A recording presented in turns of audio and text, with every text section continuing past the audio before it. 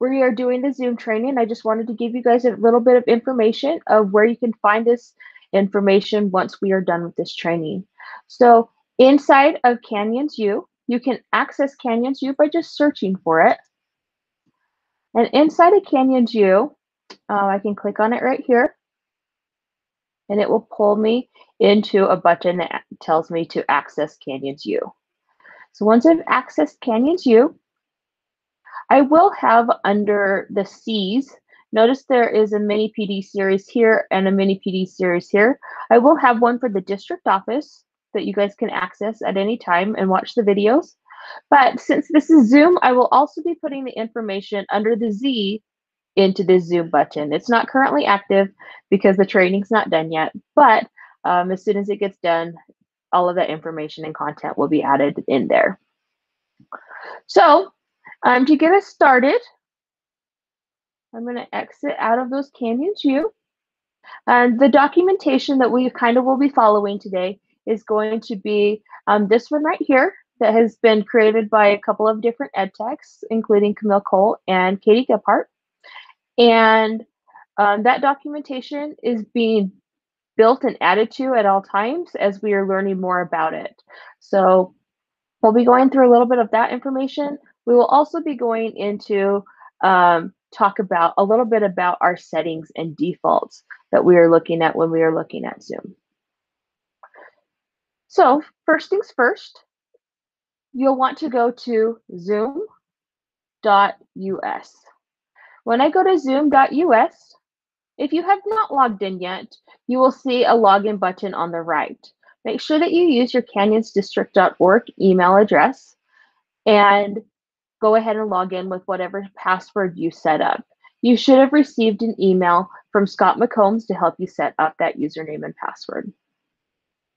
If you did not, you can go ahead and click on it, the login button, and click on the forgot password and use that canyonsdistrict.org and they'll send you um, a way for you to reset that password. Once you get logged in, um, it usually stays logged in and that's where that My Account that you're seeing on mine is showing up. So I can go to My Account and now you'll be able to see a lot of the different features that happen inside of Zoom. So as for your um, as for your profile, there's not really a lot that you'll want to change here. Um, I did come here and change my personal link. So if you notice, my personal link is now set up to C Martz, which is my last name. So you can easily, if I needed to send that out to someone, they could easily have that personal link where they could go and sign in really easily and quickly. Um, things that you'll want to know are going to and change are going to be under those settings. In your settings, there are a ton of different settings that are able to be made in Zoom, which is one of the benefits of Zoom versus Google Meet. Okay, um, nowhere are we saying in Canyon School District that you have to change from Google Meet to Zoom. If you prefer Google Meet, you can still use that Google Meet. Um, I'm just going to bounce this over here. Um, so in our settings, things that you may want to change, and I'm going to look at my default settings here, just so I kind of have an idea of what needs to be changed. But things that you may want to change is number one, you want to have a waiting room. That waiting room means that no one's going to be able to enter without you accepting them in.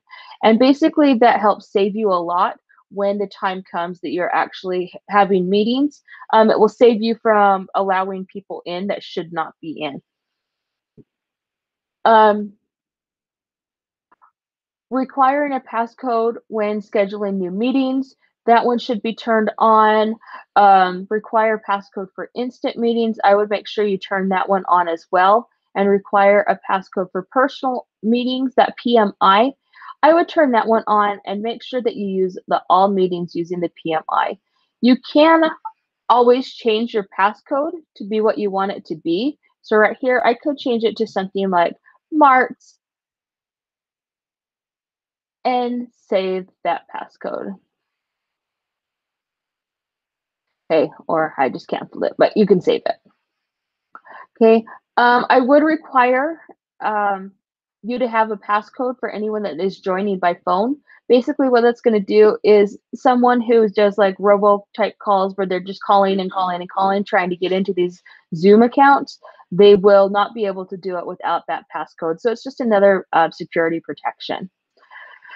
Okay, as we're going through, enable passcode um, for a link invite with a one-click join. So basically what that means is that when you are sending out your um, join code, if you send it out to someone and they click on it, they will not need that passcode just because um, you you actually gave them that link.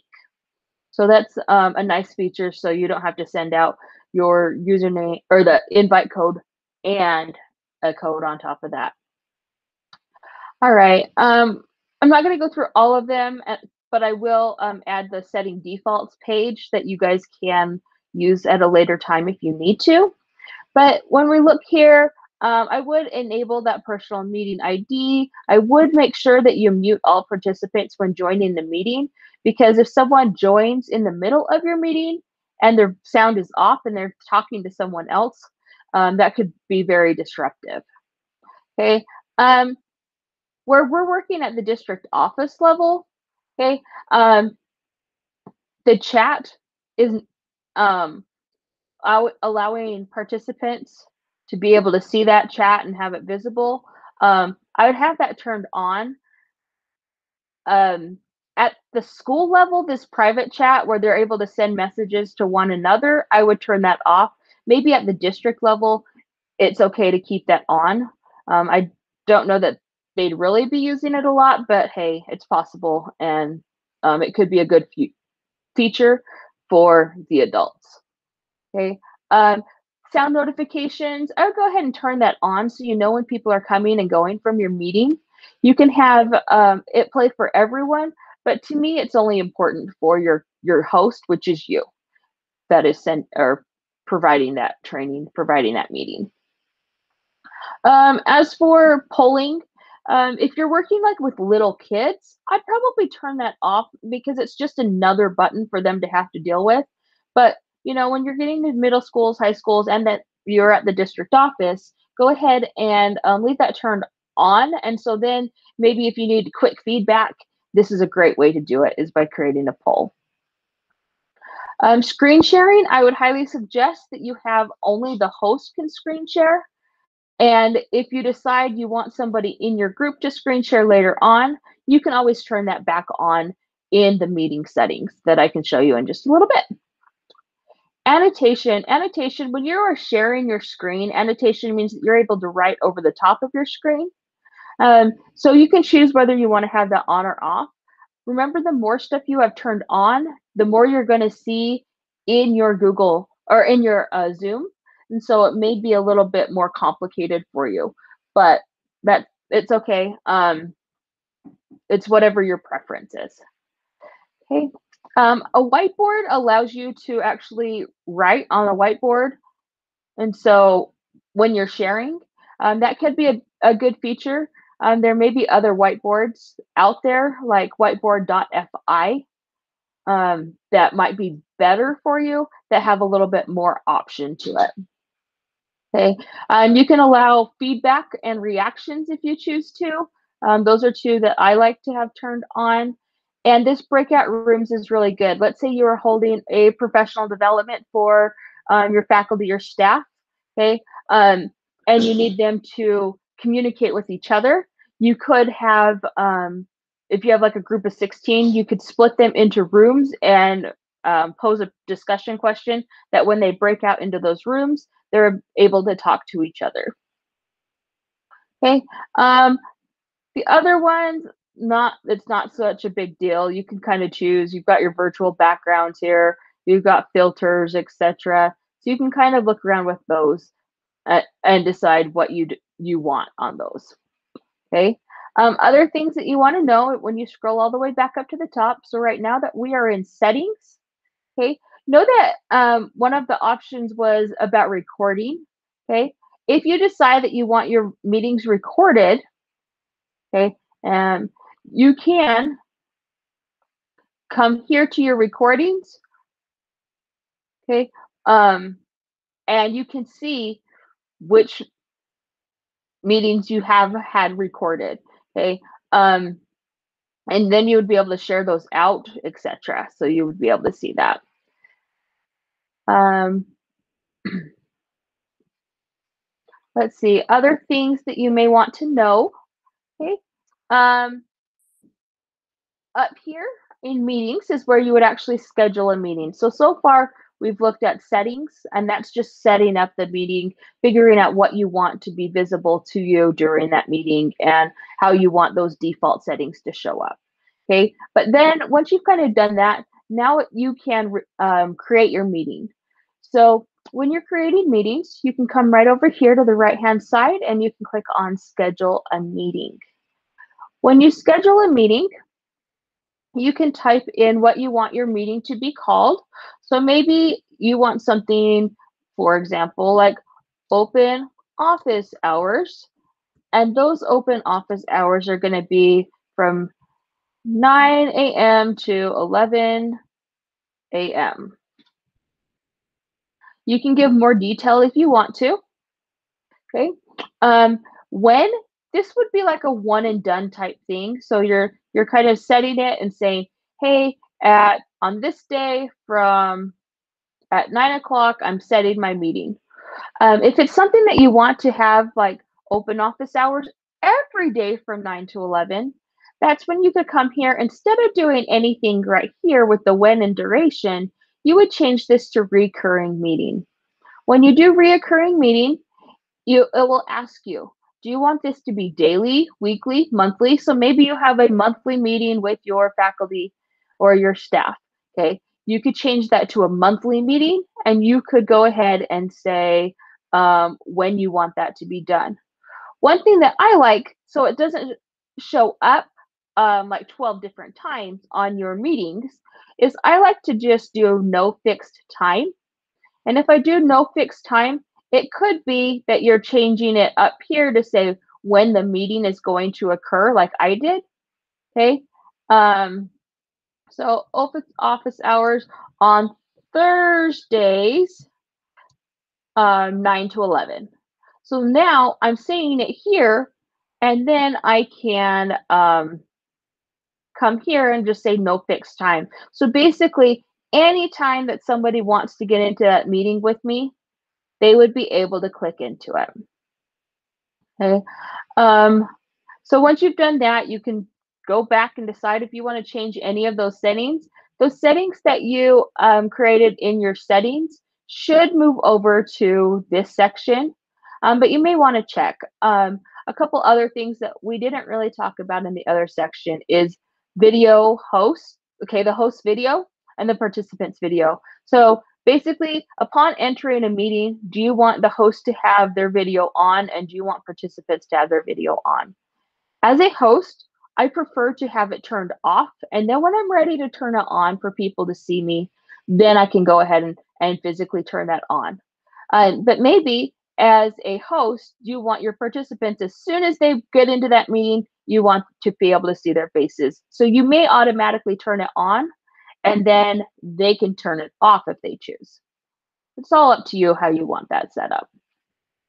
Anyway, um, notice that there are other options. Um, we talked about a little bit about breakout rooms earlier. So here is if you want to maybe pre-assign breakout rooms, per se, you know who exactly is coming to your meetings. You could do that breakout room pre-assign here and then um, type in those email addresses of those people. And um, when you go to breakout rooms, it's not going to be random. It's our, you already have that in there. So anyway, um, once you have your meeting ready, you would go ahead and save it. So now here is my meeting. If I am working with my staff and I just need to send out that link, I can do that right here where it says copy invitation. Then when I copy that invitation, I could easily just copy my meeting invitation and paste it into an email and then send it to whoever I need to. Notice you have, they will see the Zoom meeting here, or if they need to call in, maybe on, on phone, they will be able to see that information here. Okay. Uh, they could also type in the meeting ID or the passcode. Okay, so just different options of ways that they can do it. Once they're ready to start a meeting, or once you're ready to start a meeting, I should say, you would be able to come up here to the click Start This Meeting. When I click on Start This Meeting, it's going to ask me to open Zoom. So from here, I would be able to click and open Zoom. And now it's going to ask me if I want to join with my computer audio. So I can go ahead and say, yes, I want to do that. So now notice that my computer audio is here.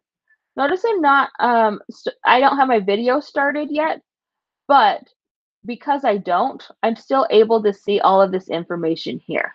So for example, if I needed to quickly, because I left someone off the list of who I needed to meet with, okay, um, I could quickly copy that link and send it to them instead of trying to worry about getting that done. Okay, other things that you're going to see down at the bottom, okay, um, you'll be able to see how many participants are in your meeting. And if you um, had participants, you would be able to click on that. And over on the right hand side, you would be able to see all of the participants. Okay. Um, you would also be able to see um, what they think. So um, if they needed, like, let's say they needed a break or something, they could post that they needed a break and you would be able to see that there. Or maybe they were on a break. Okay. Um, you can always come up here to that little um, caret and close out of that so you're not seeing that. Okay. Um, other things are your chat. Your chat over here, you'd be able to say um, if this, like you're sending a message out, maybe you're sending a link out to someone, you'd be able to send it to everyone. Okay. Or um, over on the right hand side, participants can chat with. So we already said um, earlier that they really couldn't chat with anyone, okay, which is probably set up to that. Or you can change that to the host only, okay. Um, your other option is that everyone can chat. So you can decide how you want that to be set up. Um, other things, okay, um, we remember we turned on polling. So polling is going to show up right here where you would be able to click and add a question in really quickly. Okay, um, so once I got that question in, I would be able to launch my poll. All right, let me go back to my Zoom.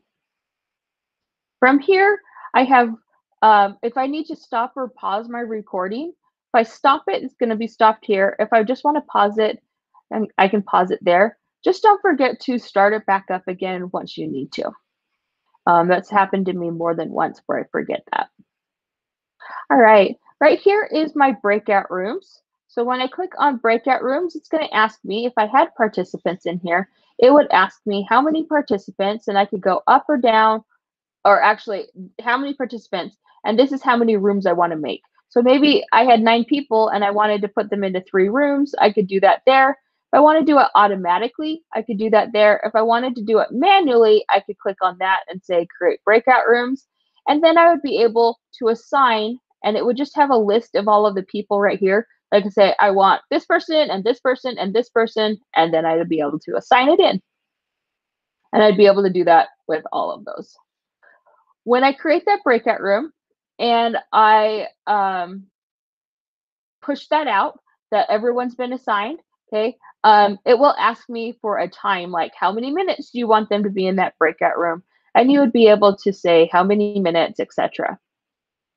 Um, and then it would also ask if you wanted to have a time for them to come back.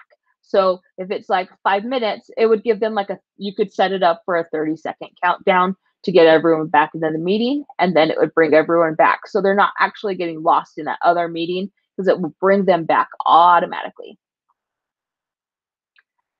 Okay, um, if I want to share my screen, that's going to be this green button right here. And when I do that, it will ask me, okay, if I hit the, the little caret up, it will ask me who um, how I want to share. Okay. Um, but if I just click straight here on the main screen share, share screen, okay, I will be able to pick which desktop I would like to use. Okay, so I have three going on right now, but which one I'd like to use. or right here is my whiteboard that I'd be able to click on my whiteboard. So from here, um, if I wanted to, I'm not going to because it's going to um, take me off a screen share of Google Meet. But I could say that I want to um, use the desktop that I'm currently working on and click on that one. Okay. And then when I click on my share button, I would be able to click on the share button and then it would pull up for my group. Okay. As, as I'm sharing my, my people, okay, instead of them showing up here on my main screen like they normally would, okay, um, it's going to put a little box up on the top and I could choose here whether I want to have that pop out so I could still see my participants.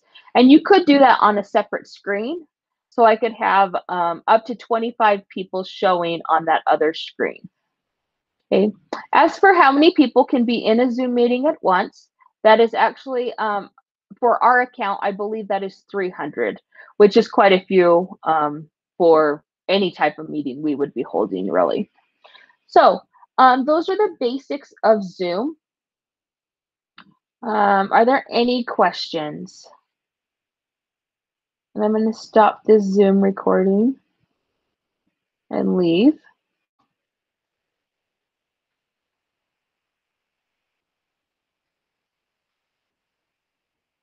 Okay, so I'm not really hearing any questions. So I'm going to end the PD for today. But like I said, if you guys have any questions, please feel free to let me know. Um, I am at the district office on Mondays and Thursdays that I can support you. Um, and I am also um, available through chat, etc. So just let me know if you guys have questions. And have a great day.